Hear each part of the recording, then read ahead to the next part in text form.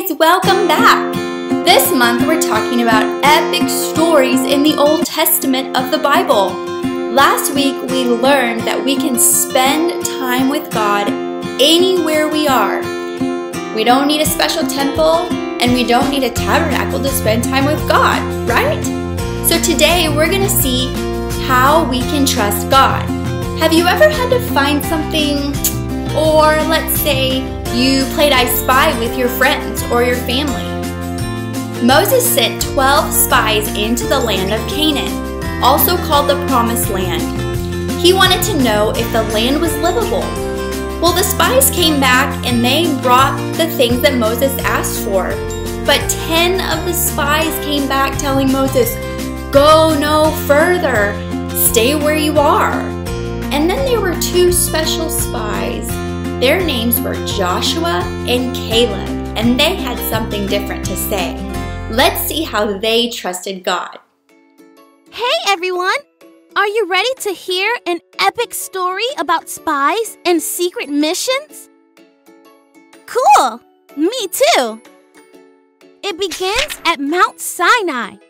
You might remember this place from last week. The Israelites, God's chosen people, had been hanging out there for a year. Then the cloud of God's presence moved and led them into the wilderness. The people began to grumble and wish they hadn't followed Moses. Even Moses' brother and sister told him they were unhappy with how things were going. But they were headed to a special land God had promised to them. So that's great news! But about halfway there, God told Moses he should stop in the desert and send 12 spies ahead to investigate. Ten spies came back and said the Israelites should turn around. They said it was dangerous. But two spies, Joshua and Caleb, gave a different report. They said, Yes, there's danger, but we can trust God will take care of us. Moses, their leader, agreed. But the Israelites were afraid. They wanted to turn around. Joshua and Caleb pleaded with the people. They told them that where they were going was flowing with milk and honey. They said that God had prepared something amazing for them. Over and over, they told the people, We can trust God. Eventually, the Israelites decided to move forward to the Promised Land. And it wasn't an easy journey, but when they got there, it was worth it. We're right. What God had prepared for them was incredible. Just like the Israelites, even when things look scary or hard, I can trust God too. So, right now, I want you to write trust in big letters on a piece of paper. And I want you to write down who you can trust. Write down everybody that you can think of. Then talk about what is trust. Is it believing someone? Is it knowing that someone is telling the truth? Is it being responsible? Then talk about how do you lose trust? Is it lying or by cheating or maybe breaking a promise? And then talk to your kiddos about is God trustworthy? Let's say that this represents trust. Trusting in God. That means we know that He's in control of everything. And let's say that this cup represents worry. Does God want us to worry? Let's see what happens when we mix trust and worry together. Can we trust and worry at the same time?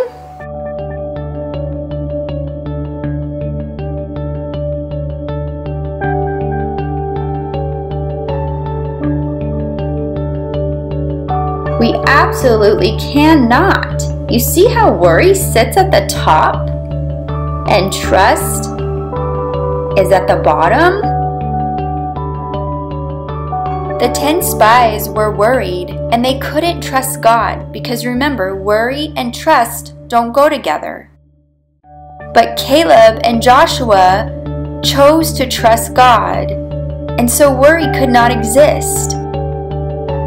And because they trusted God, they were able to do His will, and God was able to lead them to the promised land.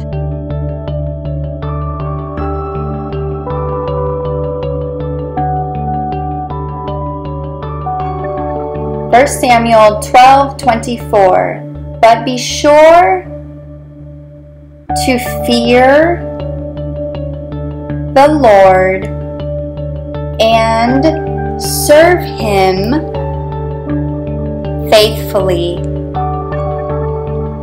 with all your heart.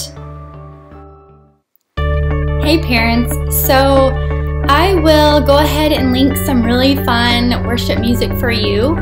And um, as far as activities, why don't you play I Spy with your kids?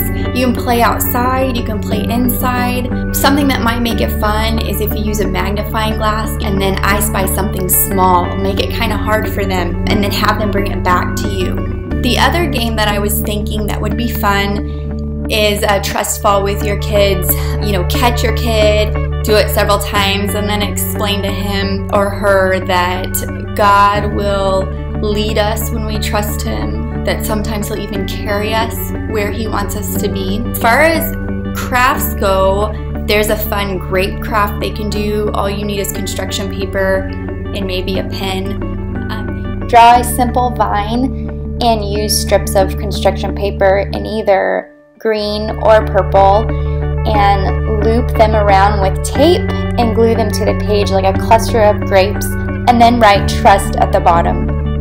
Um, the other craft is an I Spy monocular.